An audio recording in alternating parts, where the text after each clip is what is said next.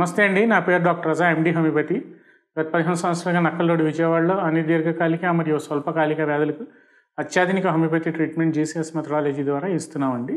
So ఇప్పుడు ఈరోజు మనం డిస్కస్ చేసుకునే టాపిక్ ఏంటంటే ఇమ్యూనిటీ. ఇమ్యూనిటీ అంటే ఏమిటి?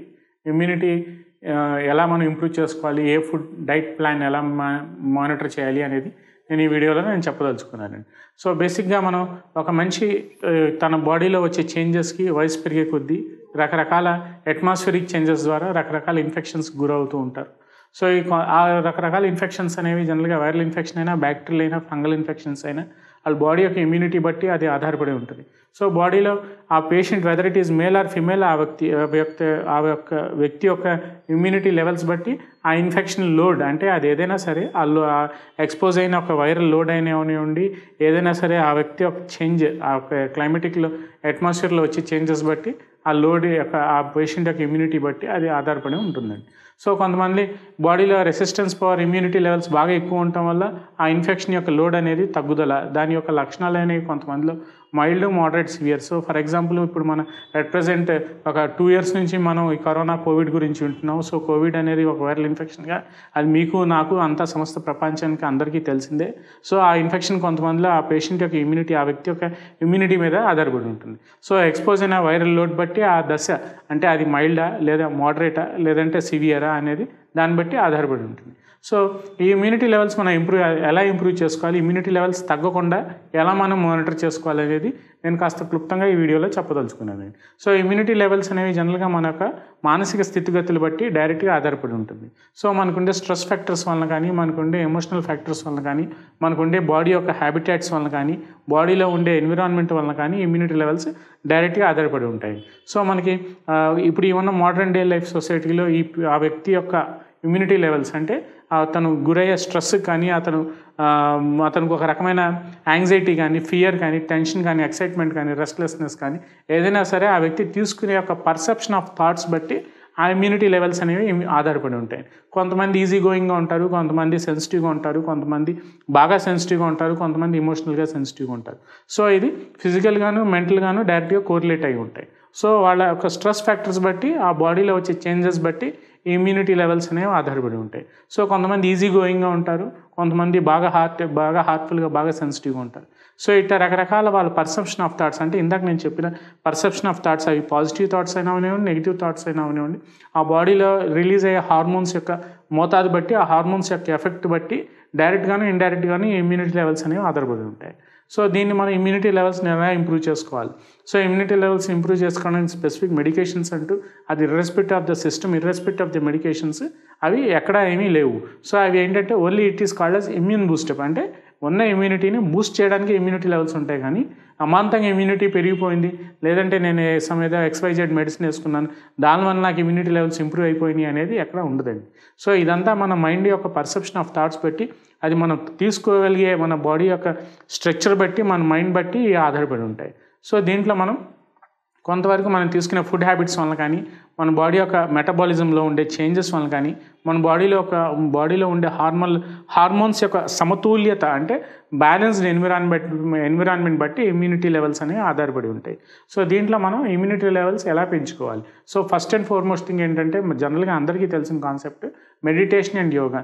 ఏదైతే మనకు మైండ్ యొక్క కాన్సన్ట్రేషన్ బట్టి కానీ లేదంటే ఎదుటోళ్ళు మనం ఏదైనా అనుకోకుండా ఏదైనా ఒక నెగిటివ్ ఎన్విరాన్మెంట్లోకి వెళ్ళినా కానీ దాన్ని మనం ఈజీగా తీసుకోవటం దాన్ని మనం అక్కడికక్కడ మనం దాన్ని ఒక ఐదు నిమిషాలు ఆలోచించినా దాన్ని వదిలేయటం అనేది అలవాటు చేసుకోవాల్సిన అవసరం ఎంతైనా ఇప్పుడు ఈ మోడర్న్ డే లైఫ్ సొసైటీలో ఉంటుందండి. కొంతమంది తదేకంగా తదేకంగా అంటే కంటిన్యూస్గా దాన్ని తీసుకుని వాళ్ళు తదేకంగా దాన్ని ఆలోచించుకుని లోపల లోపల మదనం పట్టడం లోపల లోపల పోని ఎవరిని షేర్ ఎవరితోనూ షేర్ చేసుకోలేకపోవడం ఇంటర్నల్గా ఒక రకమైన నెగిటివ్ ఎన్విరాన్మెంట్లోకి వెళ్తే డెఫినెట్గా ఆ వ్యక్తి యొక్క ఇమ్యూనిటీ లెవెల్ సమాంతంగా తగ్గిపోవటం గ్రాడ్యువల్గా over the period of time అతను ఈ రకరకాల వైరల్ ఇన్ఫెక్షన్స్ కానీ రకరకాల బయట ఎక్స్పోజ్ అయ్యే ఇన్ఫెక్షన్స్ బట్టి ఆ ఉన్న బయట ఇప్పుడు ఉన్న టెండెన్సీ బట్టి ఆ ఇన్ఫెక్షన్స్ గురవటం అతను అనారోగ్యానికి పాలవటం అతను ఆ డిసీజ్ యొక్క కాంప్లికేసీ బట్టి ఆ బాడీలో దశ యొక్క లక్షణాలు అనేవి మారిపోవటం అనేది జనరల్గా జరుగుతూ ఉంటుంది సో వీటిని మనం పర్సెప్షన్ ఆఫ్ థాట్స్ని మనం ఏదైనా సరే మనం తీసుకోగలిగిన దాన్ని బట్టే మన మైండ్ మన మైండ్ కానీ మన బాడీ కానీ మన సౌల్ కానీ మన ఇమ్యూనిటీ లెవెల్స్ కానీ ఆధారపడి ఉంటాయి.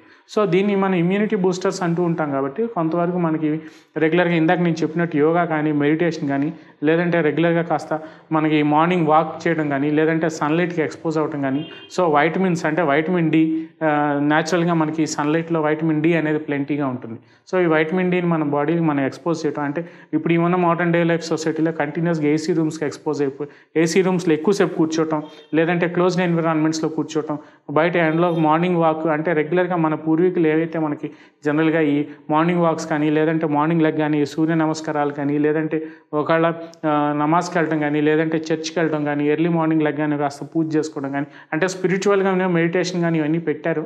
అవన్నీ మనం ఇప్పుడు ఉన్న టెండెన్సీలో మనం ఫాలో అవ్వట్లేదు.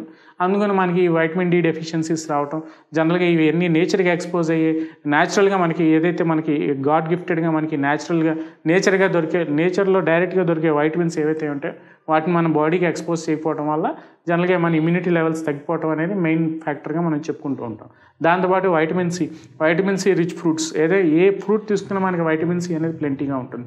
తద్వారా కొన్ని ఫ్రూట్స్ తీసుకోకపోయినా కొంతమందికి గ్రీన్ టీ కానీ లెమన్ టీ కానీ ఇలా రకరకాల ఈ జింజర్ టీలో కానీ ఇవన్నీ మనకి ఇమ్యూనిటీ బూస్టర్స్గా పనికొస్తూ ఉంటాయి.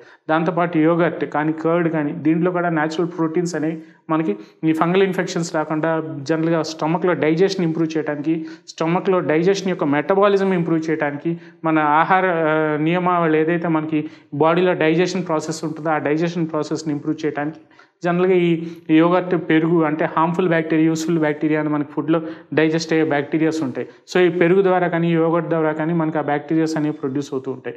సో అవి కూడా తీసుకోవడం తగ్గిపోయింది.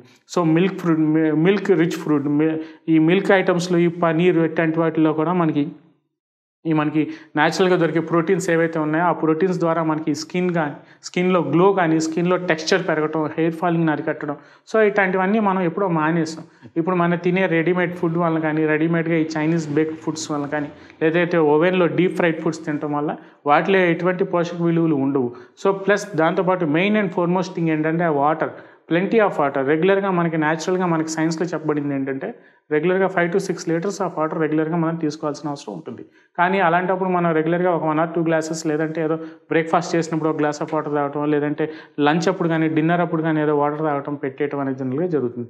సో రెగ్యులర్గా మనం దాన్ని మనం క్యాలిక్యులేట్ చేస్తే one one one litre to two litres of water కూడా మనం తీసుకోవడం కష్టం అయిపోయింది సో ఎప్పుడైతే మనకి వాటర్ ఇన్పుట్ తగ్గిపోయిందో ఆటోమేటిక్గా ఈ కిడ్నీ ఫంక్షనింగ్ తగ్గిపోవటం లేదంటే బ్లడ్లో విస్కాసిటీ పెరిగిపోవటం జనరల్గా న్యాచురల్ టాక్సిన్స్ ఏవైతే మనకి స్కిన్ ద్వారా ఎలిమినేట్ అవ్వాలో అవి ఎలిమినేట్ కాకపోవటం.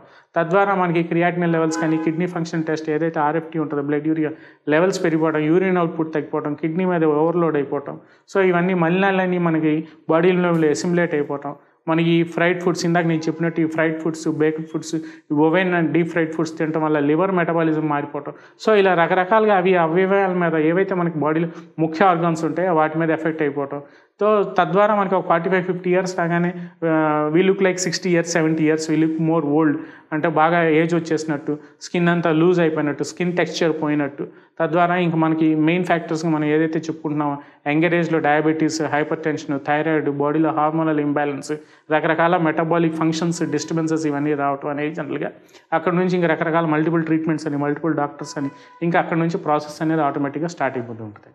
సో ఇట్లాంటివి కాకుండా మనం న్యాచురల్గా మన ఇమ్యూనిటీని మనం బిల్డప్ చేయాలి. అది ఎటువంటి ఇన్ఫెక్షన్ మన మీద దాడి చేసిన వాటిని మనం బాడీలో రాకుండా చూసుకోవాలి అంటే ఏదైతే నేను సింపుల్ టిప్స్ ఏవైతే మెడిటేషన్ ప్లెంటీ ఆఫ్ వాటర్ తాగటం న్యాచురల్గా ప్రోటీన్స్ అవి తింటాం వైటమిన్స్ అవి ఇంప్రూవ్ చేసుకుంటాం. సో ఇవన్నీ మనం ఇంప్రూవ్ చేసుకుని స్ట్రెస్ ఫ్రీ లైఫ్ ఎన్విరాన్మెంట్లో ఉండటం. So negative ideas negative minded పీపుల్తో క్లోజ్గా మూవ్ అవ్వకుండా మనం వాళ్ళ నుంచి దూరంగా ఉంటాం. పాజిటివ్ మైండెడ్ పీపుల్తో ఉంటాం. అప్రోచ్ అనేది మనం వాళ్ళతో ర్యాప్ అనేది ఇంప్రూవ్ చేసుకోవటం. ఒక మంచి స్మైల్ అంటే ఒక మంచి హ్యాపీయెస్ట్ ఎన్విరాన్మెంట్ అనేది మన చుట్టుపక్కల మనం క్రియేట్ చేసుకోగలిగితే ఆటోమేటిక్గా గాడ్ గిఫ్టెడ్ ఇమ్యూనిటీ ఏదైతే ఉంటుందో ఆటోమేటిక్గా బాడీలో అది బిల్డప్ అవుతూనే ఉంటుందండి. ఆ ఇన్ఫెక్షన్స్ మన మీద దాడి చేయకుండా మనల్ని మనం ప్రొటెక్ట్ చేసుకోవడానికి హండ్రెడ్ పర్సెంట్ ఆస్కారం ఉంటుందండి.